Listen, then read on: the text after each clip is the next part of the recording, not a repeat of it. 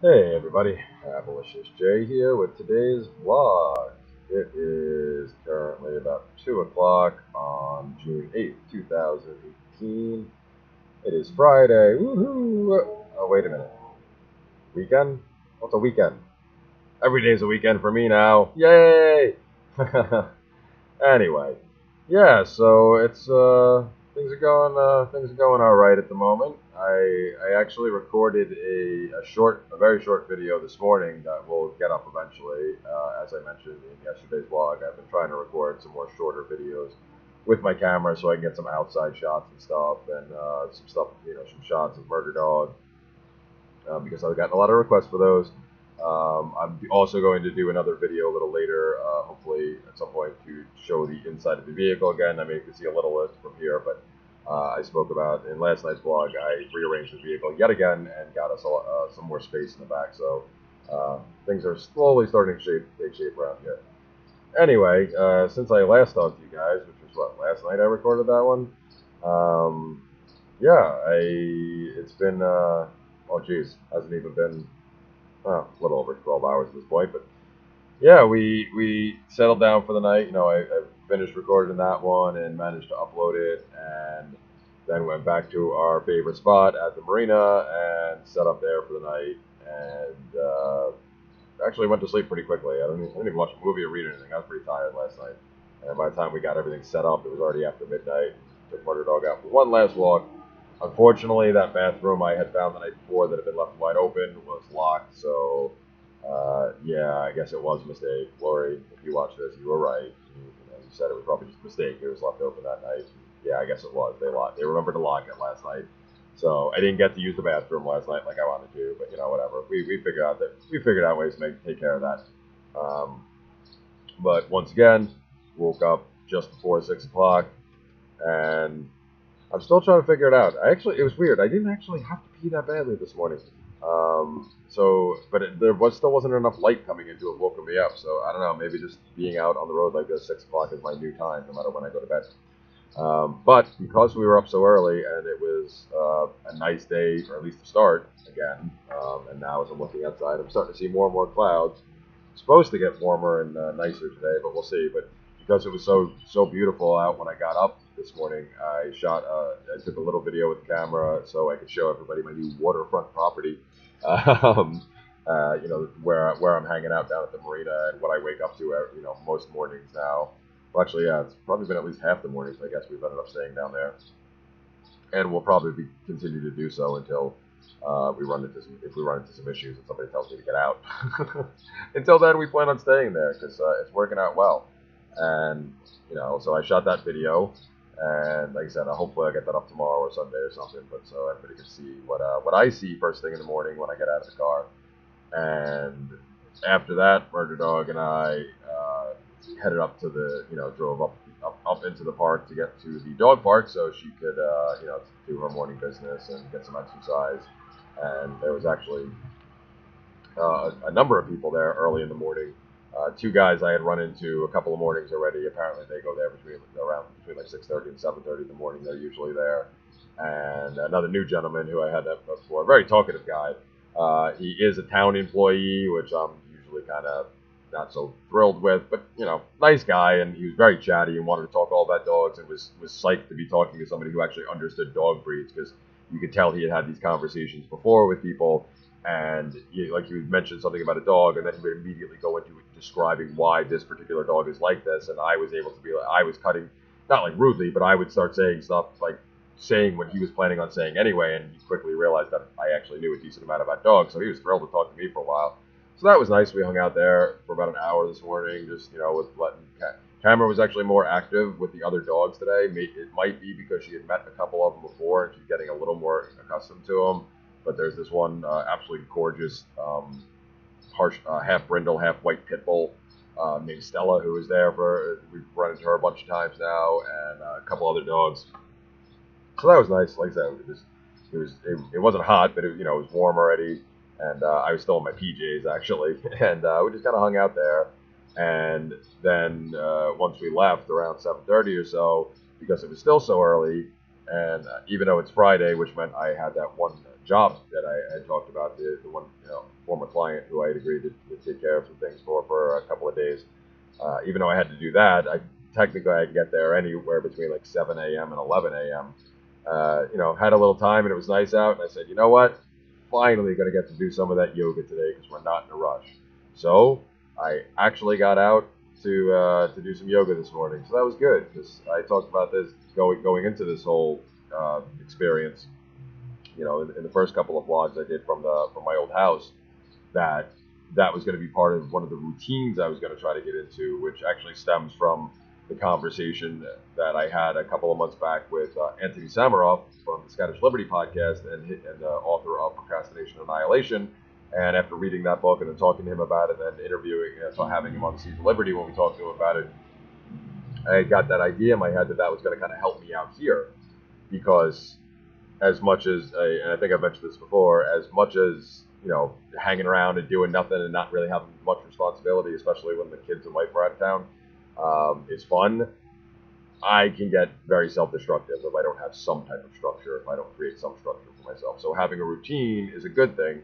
Also, you know, helps stave off boredom, um, helps you not, not lose track of days if you have something you do every day or something you do on a regular basis. So you kind of still stay connected to like, you know, the, uh, the bustle of the uh, outside world, uh, even though you're trying to live in your own little world out here in the van or, or the element, as the case may be.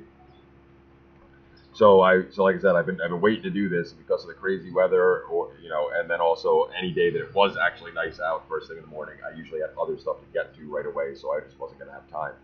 But finally got to do it. So after we left the dog park, we headed up towards the entrance of the park where the last bathroom is, so we could stop there and I could brush my teeth and stuff. And afterwards, I set up my my second laptop on the on the tailgate and I just plopped down, actually right behind my car on the sidewalk uh, with my yoga mat and did my yoga routine, and uh, it was great. You know, uh, any, I, I, think I may have talked about it before. I'm not a huge yoga guy. Uh, I did Bikram yoga, that hot yoga stuff, uh, years back. I think actually right uh, right before I met my wife, I got into that because the girl I was dating at the time, and I actually stuck with it for like a year, and I actually really enjoyed it. I just I only stopped because really expensive to do around here, and I just I couldn't afford even with the packages they offered, I just couldn't afford it. So I didn't go back. But I did realize, you know, as I'm getting older and stuff, that that type of exercise does actually help me, especially because I have neck and uh, neck and shoulder issues. So I actually sought out uh, a couple years ago the DDP, Diamond Dallas Page, the uh, former wrestler. Um, he created his own. If you, if you never heard of it, he created his own yoga program, which he help, you know, he had people help him with, but it was designed for people who have injuries. Um, you know, that was that was the goal because he was somebody who's a wrestler for 30, 40 years, whatever, beat the hell out of his body, broken bones, broken this, whatever. Um, you know, scar tissue everywhere. So he kind of designed this system to help himself out, and you know, he ended up performing until well into his 50s because of this and then you know we put it out there as a, as a product for everybody else. So I decided to test it out. I got one of the, I think I got a Groupon for it years ago, and I was like, yeah, what the hell, I'll buy it and see what's up with it. And uh, I actually kind of dug it. I just I never get around to doing it, so I, I, brought all those videos with me. So yep, started my day well almost first with the dog park, but yeah, pretty much started my day with uh, with my DDP yoga. So it was good. I was, uh, I, like I said, I've been, I've been waiting to do that, and uh, it felt good to, to actually do some exercise other than just the walking that we've been doing and stuff like that. So hopefully I can continue, and I can get to a routine where I can actually start doing it on a daily basis. That would be great, uh, or at least most of the days of the week, you know, depending on the weather. So that was good. And then after we left there, it was still pretty early. I think it was only like eight, like nine something, and I decided, well, I might as well go take care of that uh, take care of that work now. And on my way over, and then that, you know in my head I was like, all right, I'll go take care of that. And then I have to go. I still got to get up to Planet Fitness and get that membership so I can finally get a shower.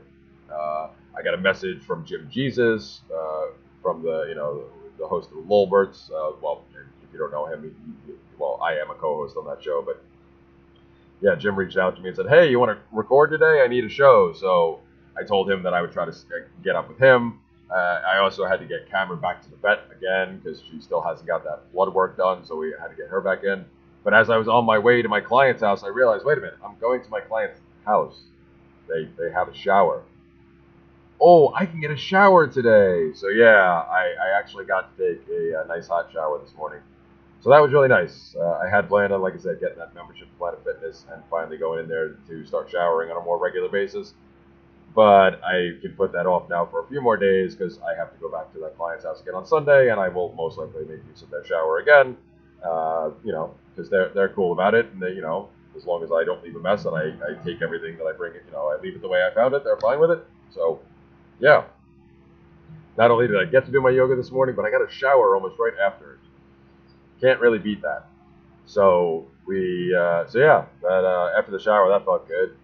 Took care of business there with the uh, with, with the cats I had to take care of, and then I headed off to find a Wi-Fi spot so I can upload my podcast that I recorded yesterday with Anthony Samaroff for my show, Abolitionist Abstractions, which last night I actually I remembered while I was sitting there uploading last night's vlog. I actually remembered to stay there long enough to upload the podcast to all the other services that we use, like Libsyn and YouTube and stuff. But those are all on a delay. I have them scheduled for later in the day because obviously, just like I do with these, I like to post my podcast and Steemit first as well. So I had to make sure I got the Wi-Fi to actually post the episode to Steemit. And once we were done with that, still had about an hour or you know an hour to kill to till uh, Murder Dog's appointment. So we slowly made our way over there, and uh, I let Jim Jesus know that you know I, I, had to go take her to this quick appointment because uh, I met, they managed to squeeze me in, and uh, you know it shouldn't take long, and then we would try to do a podcast. So finally got back to the vet. Finally got Cameron her blood work. Unfortunately, they wanted me to walk out by saying, you know, they were like, okay, well, the doctor will get back to you tomorrow about this. And I'm like, you realize I'm now out of pills again, right? Because you guys gave me three days worth on Monday, told me you would call me on Wednesday. Nobody called me until 8 o'clock Thursday night, which is when you guys closed. So when I called back, you had already turned phones off. I'm like, what am I supposed to do? So, uh, you know, if you're going to adjust the medication, then, you know, are you going to give me the same old medication that's not adjusted? Like, are we actually doing anything here? But yeah, so it was kind of a, a, little bit of a waste of my time, a little bit of a waste of my money as far as I'm concerned. But she did get the blood work done, so we'll find out more information tomorrow about her little thyroid issue and if she has to be on less medication or more. And they were nice enough to give me another 10 day supply uh, until this can all get sorted out. And then I'll have to go pick up more of them because, as I think I've mentioned before, unfortunately, with her thyroid condition, she is going to have to be on these pills for the rest of her life. So I need to make sure I have them in stock. And once we were done with that, I messaged Jim Jesus and said, "Hey, I'm ready. I'll go find some Wi-Fi." And I did, and I'm actually still sitting in that same spot right now, which I still have. I'm picking up amazing Wi-Fi right here. I bet if I tried to upload this right away, which I may or I may not, because I did just post that episode a little while ago, and I may wait till a little later to post this. But I'm pretty sure if I tried to upload this right now, it would be fine. But we use Discord to do the Lolberts, and for some reason, we just had the most difficult time connect. Like we were able to connect. Um, he was able to hear me pretty much fine, but he kept dropping out to the point where I missed most of the conversation he had. So I don't even know if that's going to come out as a podcast. I don't know what he's going to do with that. It was a, it was a rather a comedy comedy of errors, which is a shame because I, I love talking to Jim and we usually have a lot of fun when we do shows together. You know, we used to do the Freedom Fiends back in the day when he was still a fiend, and then uh, after I got fired from the Fiends years ago, and then got rehired quickly. Um, he actually immediately reached out to me and said, "Hey, do you want to be a Lolbert with the rest of us?" Because the Lolberts, if you don't know, it's a, it's another libertarian-esque podcast, but we cover a lot of topics. But the overwhelming majority of the hosts are former Freedom Fiends. Uh, I think I am I'm the only one who is currently still a Freedom Fiends host. Uh, the rest of them are now all ex-Fiends, including not so young anymore Nick Hazelton, who retired, so technically he's not a fiend anymore, even though I still consider him one. But he didn't get fired like the rest of us did. but anyway, so that was a shame. Uh, we'll we'll see if that actually comes out and what comes of it. Because like I said, I love talking to Jim, and we were set to talk about some. You know, he wanted to catch up with me and see how things were going out here. So I was going to give all the Lolbert fans an update about what I was doing with this. I mean, obviously, I just told them fine, just point them in the direction of my of my blog so they can follow along right there. Uh, but then we were also going to talk about the whole idea of the net taxpayer, which is something that gets floated around a lot in the conversations about the borders and whatnot, and, um, in the ANCAP circles, I guess. Uh, you know, a number of my friends, including some of my co-hosts, Dave and Andre, uh, are big fans of this whole idea, and I've argued with them about them to no end. And uh, so when Jim said he wanted to talk about it, I was like, oh, this is a great subject for both of us to talk about because I knew both of us shared a similar, similar but you know slightly uh, different perspective on views, and uh, you know I was really looking forward to that conversation. So I was kind of bummed, uh, but you know these are the breaks. This is what happens when you're out on the road and you don't have a steady internet connection. Although, like I said, my internet connection seemed to be fine. I really think it was Discord.